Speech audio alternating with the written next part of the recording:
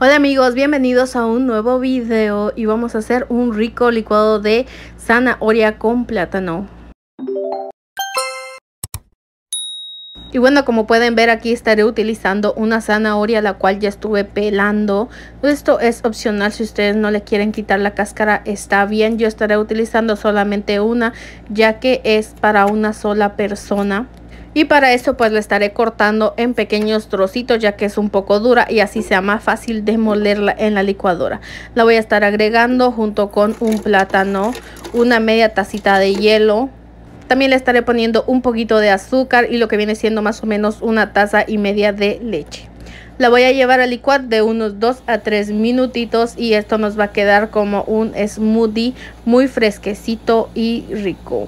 Esta es la primera vez que pruebo esta combinación y la verdad es que quedó muy pero muy rico. Ya pasados los dos minutitos, pues miren, así nos ha quedado como un smoothie. Tú le puedes agregar más hielo o menos hielo si no lo quieres tan frío. Además que también lo puedes tomar como desayuno ya que lleva zanahoria, plátano, le puedes agregar un poquito de avena.